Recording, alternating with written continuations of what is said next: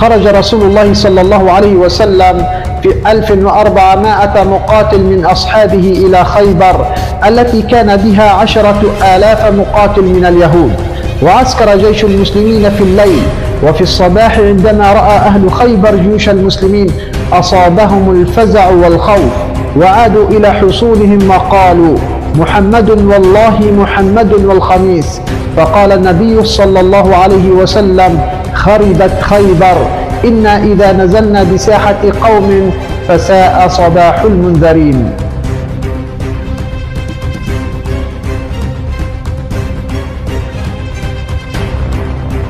وإن لخيبر ثمانية حصون منيعة وقوية خمسة في منطقة وثلاثة في منطقة أخرى. أما الثلاثة الأول فهم خط الدفاع الاستراتيجي الأول وهم في منطقة تسمى النطاء وهم حصن ناعم وحصن الصعب بن معاذ وقلعة الزبير. أما الخمسة الأخر في منطقة الشق وهم حصن أبي حقير وحصن النزار وحصن القموس وحصن النطيح وحصن السلالم.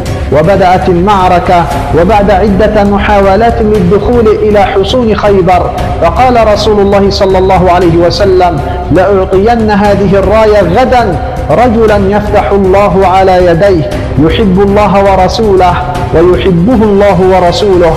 قال فبات الناس يدوكون ليلتهم أيهم يعطاها. فلما أصبح الناس غدوا إلى رسول الله صلى الله عليه وسلم كلهم يرجو أن يعطاها. فقال صلى الله عليه وسلم أين علي ابن أبي طالب؟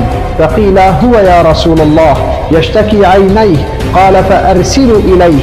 فأتي به فبصق رسول الله صلى الله عليه وسلم في عينيه ودعا له فبرئ حتى كان لم يكن به وجع. فأعطاه الراية فقال علي يا رسول الله أقاتلهم حتى يكونوا مثلنا؟ فقال انفذ على رسلك حتى تنزل بساحتهم ثم ادعهم إلى الإسلام وأخبرهم بما يجب عليهم من حق الله فيه. فوالله لأن يهدي الله بك رجلا واحدا خير لك من أن يكون لك حمر النعم.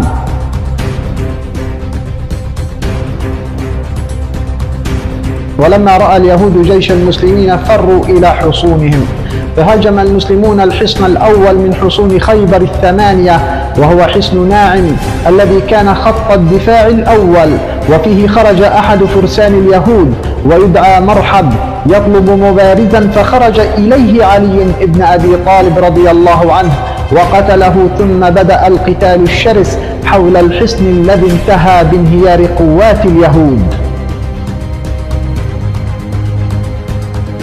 وتابع المسلمون الاقتحام بقيادة الحباب بن المنذر الأنصاري مهاجمين حصن الصعب الذي كان شديد المناعة وحاصروه ثلاثة أيام ثم بفضل لجوء المسلمين إلى الله فتح الله عليهم حصن الصعب بن معاذ وكان من أغنى حصون خيبر بالطعام والشراب.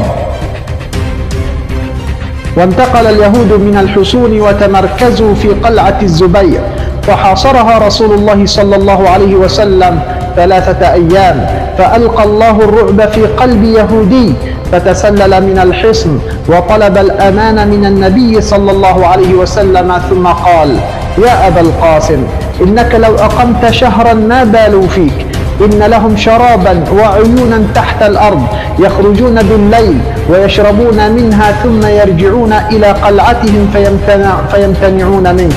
فإن قطعت مشربهم عليهم أصحروا لك. ففعل رسول الله صلى الله عليه وسلم وقطع الماء فاضطروا إلى الخروج وحدثت معركة عنيفة على باب القلعة وانتهت بانتصار المسلمين.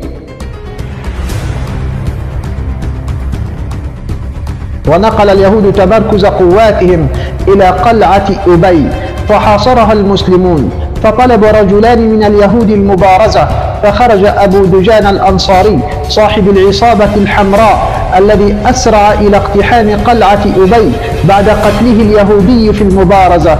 فدخلها المسلمون بعد قتال عنيف دام ساعات وهرب اليهود إلى حصن النزار.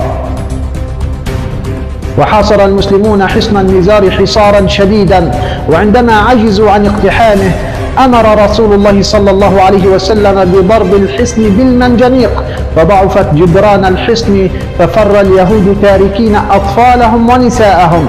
وبهذا الفتح سيطر المسلمون على القسم الأول من خيبر.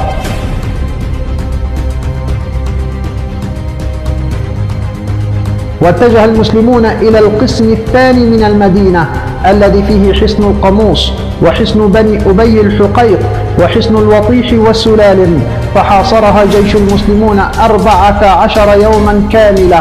وعندما لم يجد الحصار نفعا هموا بنصب المنجنيقات لضربها فطلب أهل خيبر الصلح. فصالحهم رسول الله صلى الله عليه وسلم مقابل خروجهم من خيبر كلها. ويتركوها للمسلمين. ولما أراد رسول الله صلى الله عليه وسلم إجلاءهم قالوا يا محمد دعنا نكون في هذه الأرض نصلحها ونقوم عليها. فنحن أعلم بها منكم.